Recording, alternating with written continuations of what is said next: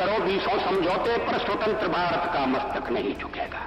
अगणित बलिदानों से अर्जित यह स्वतंत्रता शिवश्वेद शोणित से सिंचित यह स्वतंत्रता, त्याग तेज तप बल से रक्षित यह स्वतंत्रता, दुखी मनुजता के हित अर्पित यह स्वतंत्रता। इसे मिटाने की साजिश करने वालों से कह दो चिनगारी का खेल बुरा होता है।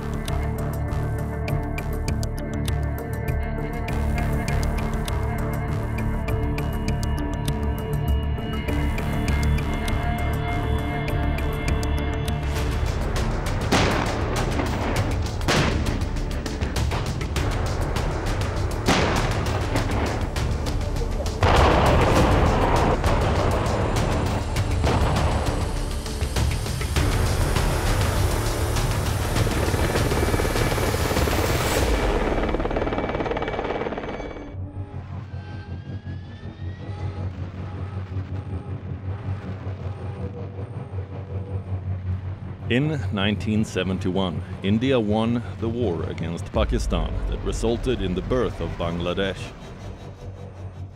Pakistan lost half its country and had to publicly surrender to India. A crushing defeat that continues to haunt it. Though border skirmishes and military standoffs between the two countries were common, tensions further escalated in the year 1998.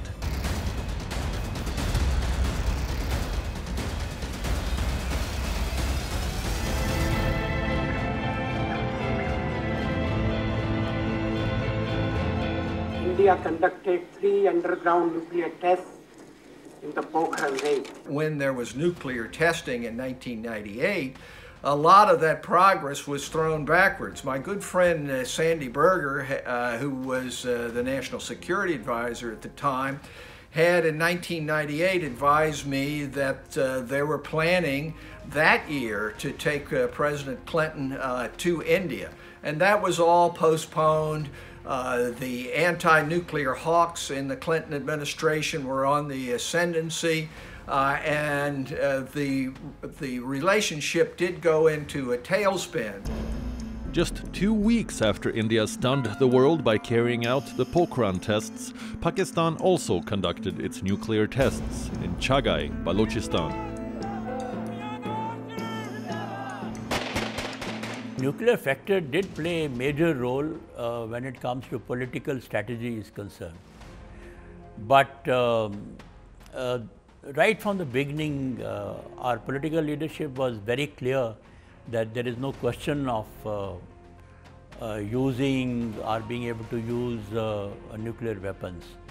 And I don't think Pakistan also was prepared to use any nuclear weapon. There was a lot of noise being made, uh, more in the international media. The United States was very much afraid of nuclear war on the South Asian continent. As international pressure mounted on both the countries, Prime Minister Atal Bihari Vajpayee decided to visit Lahore for peace talks.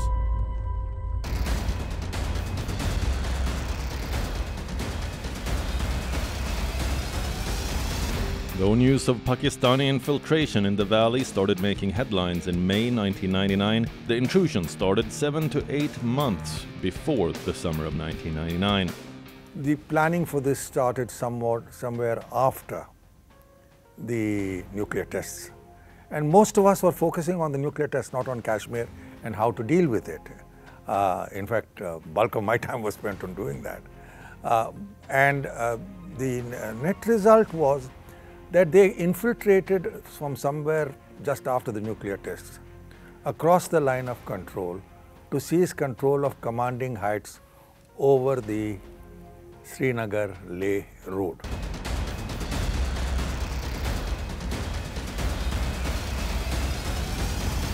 While the Indian government maintains there was no intelligence failure in Kargil, experts have blamed both RAW and the Intelligence Bureau.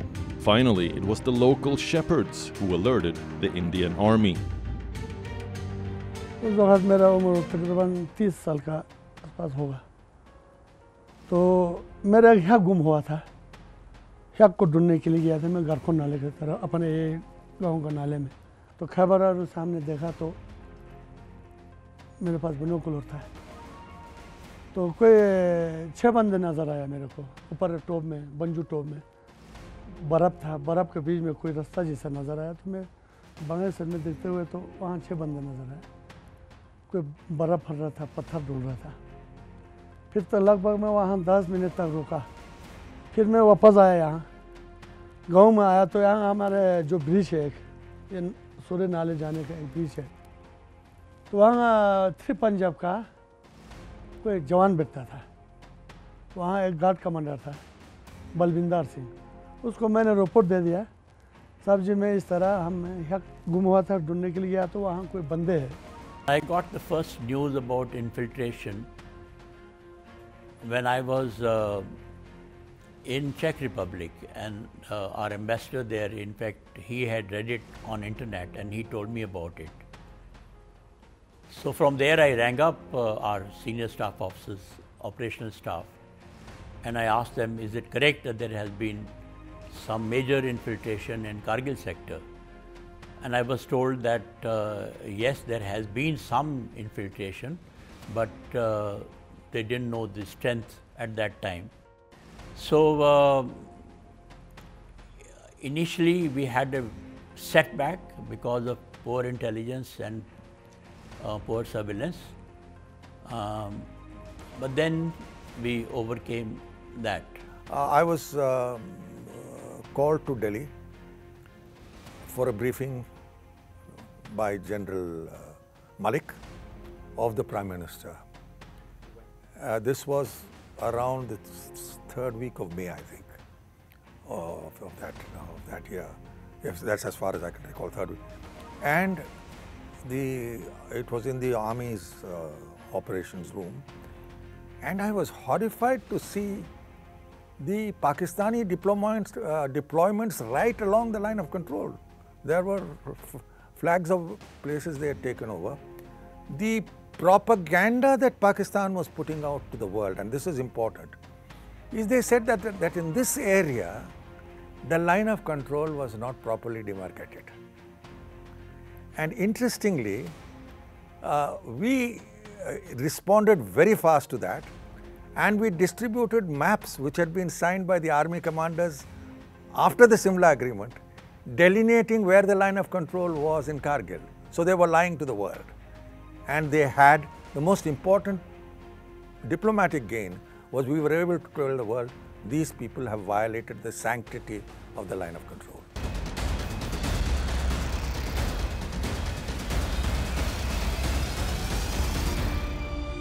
19th February 1999. Indian Prime Minister Atal Bihari Vajpayee boarded the inaugural bus to Lahore at Amritsar. Visuals of Vajpayee's bonhomie with his Pakistani counterpart Nawaz Sharif symbolized hope in bilateral ties. But Pakistan's Chief of Army Staff, General Pervez Musharraf, was already hatching a sinister plan. Actually, to be honest with you, uh, in Islamabad, we were tied up arranging Mr. Vajpayee's visit. And therefore, the focus of the embassy was really on the Vajpayee visit and its aftermath. After all, it was the Prime Minister of India coming. They had taken a calculated decision to make a real effort for peace and harmony. And Mr. Vajpayee very deeply believed in that. And therefore, the focus of our attention was on that.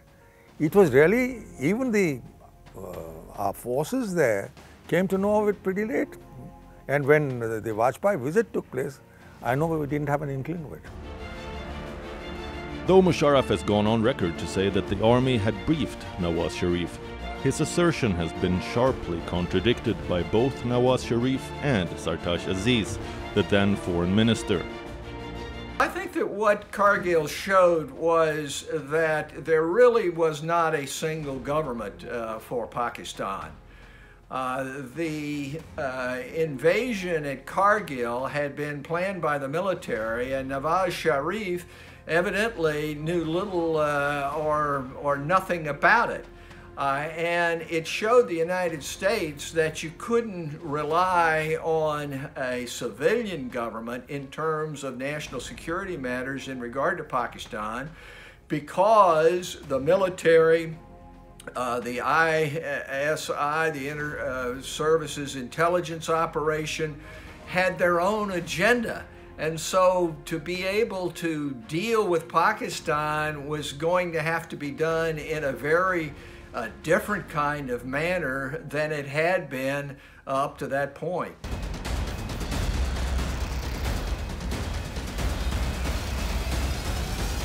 By March 1999, the Mujahideen, with the assistance of Pakistan's Northern Light Infantry, had occupied several heights in the Kargil Dras sector. Pakistan believed that India would not be able to dislodge the intruders from the key positions once they were taken, and that it would not be able to mount a quick counterattack. On both accounts, Pakistan was mistaken. This was the thinking in the Pakistani military that the Indian army fighting insurgency for almost uh, 10 years or more just did not have the stamina to fight a conventional war. So they, around the time of the nuclear tests when tensions built up in 1998, uh, Musharraf had just taken over and uh, he um, initiated this plan to take over the hilltops of over Kargil, meaning they would get control by sitting on these hilltops of all movement of our forces from Srinagar to Ladakh and, and, and, and to Siachen. The aim was to take over the Kargil hilltops and cut off Ladakh and Siachen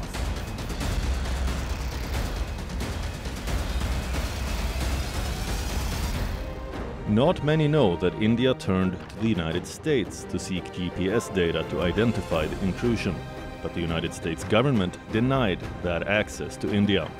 The incident spurred India to build an indigenous navigation system, the Indian Regional Navigation Satellite System, or NAVIC.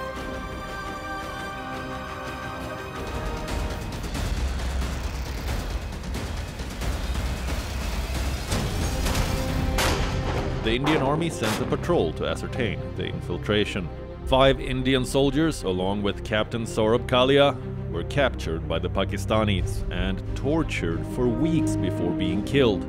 Their mutilated bodies were handed over to India on the 9th of June. It was the last straw.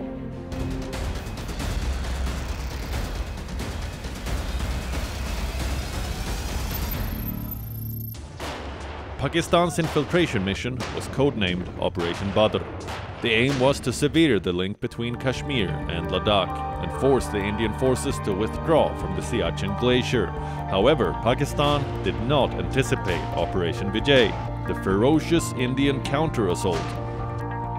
Well, there's no question that Pakistan hurt themselves uh, very greatly uh, by uh, this surreptitious uh, invasion across the border and then the attempt to try to say that it was all uh, uh done uh, by Kashmiri. I mean, that was ridiculous. It was at such high altitude and required such technical support that it couldn't have been anybody but the Pakistan military who were involved.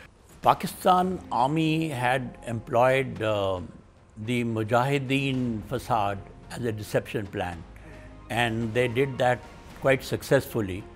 Uh, all our intelligence agencies and people, the frontline soldiers also, they uh, accepted that uh, uh hook, line and sinker, literally everything. And therefore, it took quite some time for me to convince everybody that we were not fighting Mujahideen, and we were fighting the Pakistan army. Now we have different rules of engagement to fight with Mujahideen and different for the Pakistan army. If you are fighting Pakistan army, obviously it is a war. And uh, that was also uh, another reason why our uh, progress in the beginning was slow. Uh, but once we were convinced and we were able to convince the political authorities that these are not Mujahideen, but these are Pakistan army personnel, uh, then there was no looking back. More than 200,000 Indian troops were mobilized. The Indian Army was not only coping with extreme climatic conditions, but they also had to adhere to the guideline of not crossing the line of control. Maximum available firepower, including that of the artillery and the Indian Air Force, was deployed. The infantry battalions also launched unrelenting attacks take back the high altitude mountaintops occupied by the aggressors.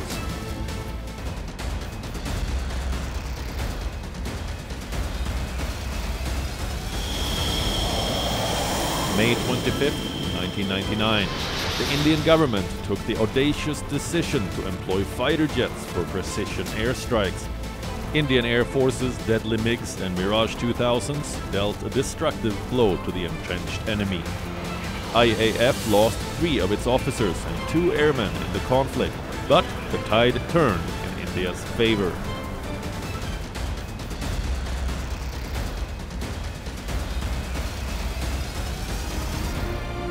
After the enemy had been dislodged from the heights of Tololing, by the end of June, the Indian army started planning what turned to be the bloodiest battle of the Kargil conflict, recapturing Tiger Hill.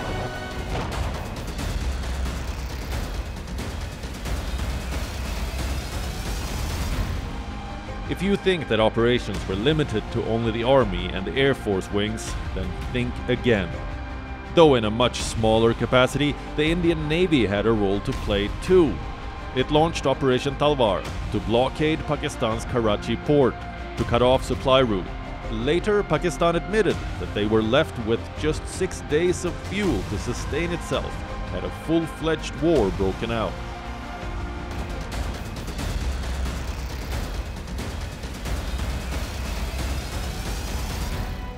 On the same day that India recaptured Tiger Hill, Nawaz Sharif flew to the United States to seek mediation for bringing the conflict to an end.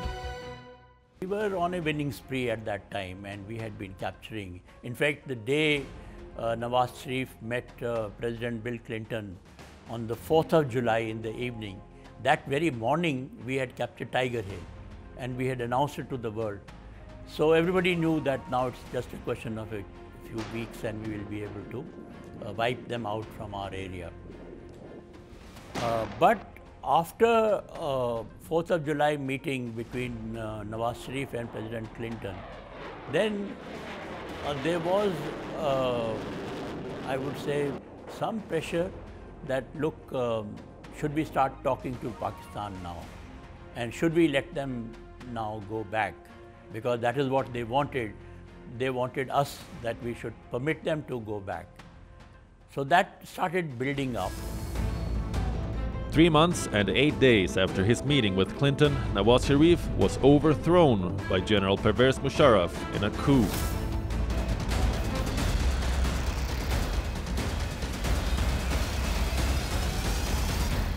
Fourth of July. As the United States was celebrating its Independence Day, the capital was jolted by an uninvited visitor.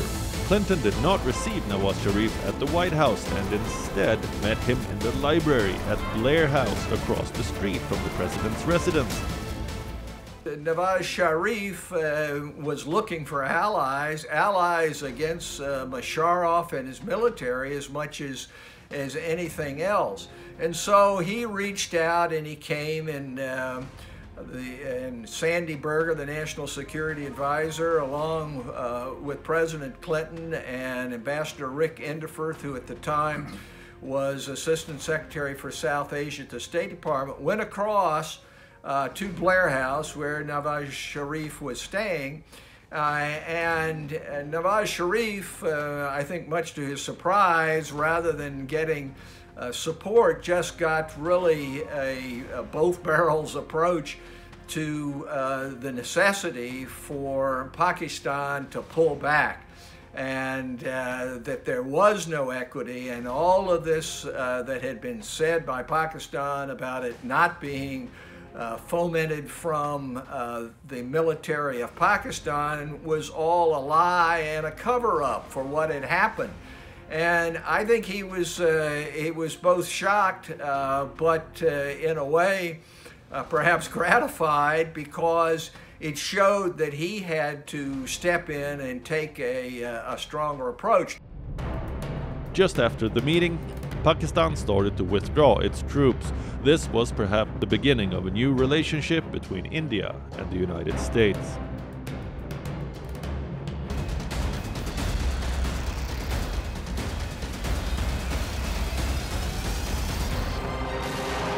Ceasefire was announced on the 26th of July. Sharif's action of ordering the pullout from the Indian side of the line of control also had an unexpected result. Uh, the soldiers of theirs who died, um, they wouldn't even accept the bodies back. They refused to acknowledge it. And when I went into it at length, most of them were from the Northern Light Infantry. They were Shias from Gilgit-Baltistan, second class citizens or not citizens at all in Pakistan. And they were not willing to accept their bodies back. I mean, the most shameful episode on the, of, on the part of Musharraf to not accept the bodies of his soldiers back.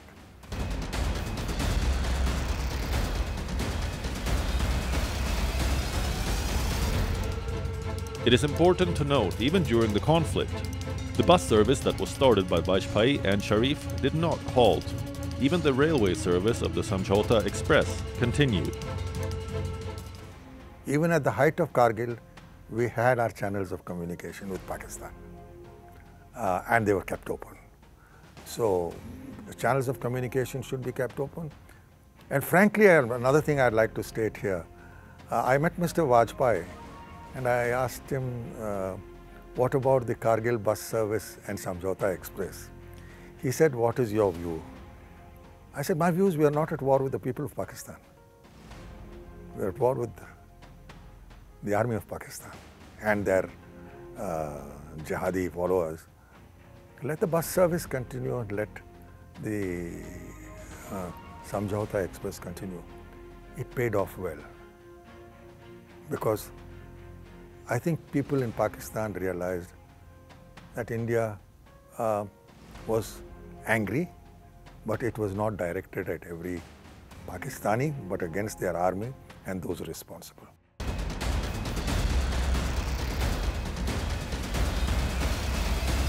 It was a great uh, unifier as far as the nation is concerned. When people all over India, in every corner of India, they were able to watch whatever was, hap was happening in Kargil and Dras. So it unified, it, it, united the whole country together. And they gave us tremendous support. So that was another very positive aspect of uh, the televised war. A TV channel also acted as an ally of the Indian army and helped in nailing several lies being perpetuated by Pakistan. While capturing, uh, recapturing all our locations, we had also captured a large amount of uh, documents and letters which were in the possession of uh, soldiers, Pakistani soldiers who had died, who had been killed. So we had that solid proof with us now that these are all Pakistani soldiers and these are not Mujahideen. And I must uh, give full compliment to Zee TV. They agreed to do that and they showed these letters. Now, it had another impact and that impact was within Pakistan because Pakistan army had not told their own public that they were fighting this war. Uh, uh, in the Pakistan army was fighting this war. So when Pakistan public realized after seeing those letters on the Zee television uh, thing uh, that uh, these are our own soldiers, our own kith and kin who are fighting the war. It had a, a tremendous impact uh, on the morale of uh, people in Pakistan and they started questioning their own army as to why have you not been telling us what is going on.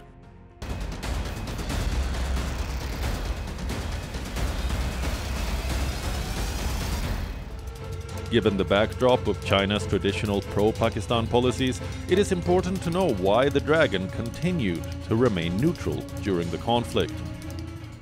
Sure, they should have condemned uh, Pakistan, as did the U.S., and the fact that they didn't showed a shift uh, uh, in regard to Pakistan-Chinese relationships even more in the direction of, uh, of the interest of China uh, as opposed to the interest of the United States. And what Kargil showed was that that uh, relationship uh, was extremely strong. And in fact, uh, more digging that went on, you, I think that it's pretty clear that in regard to the nuclear capability of Pakistan, a lot of that technology uh, came from China.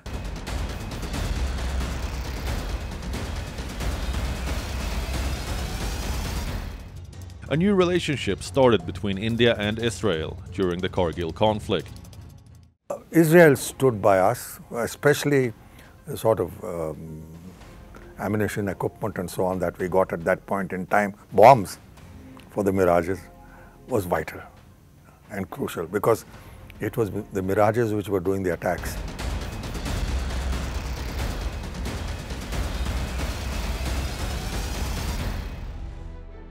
India's victory came at a cost. 527 Indian soldiers sacrificed their lives, and more than 13,000 were injured.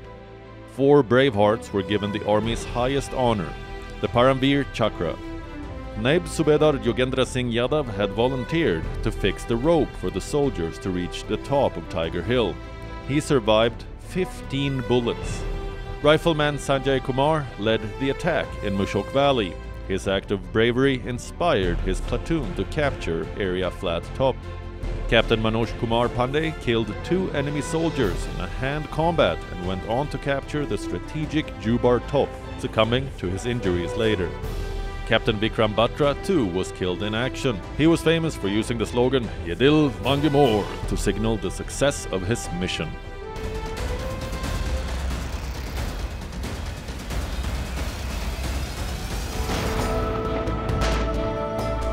After two months, three weeks, and two days, the conflict came to an end. A war memorial was built by the Indian Army in November 2014 in Dras. With the Tololing Heights, Tiger Hill, and Batra Top in the background, the memorial reminds us of the valor of the Indian soldiers and the sacrifices made.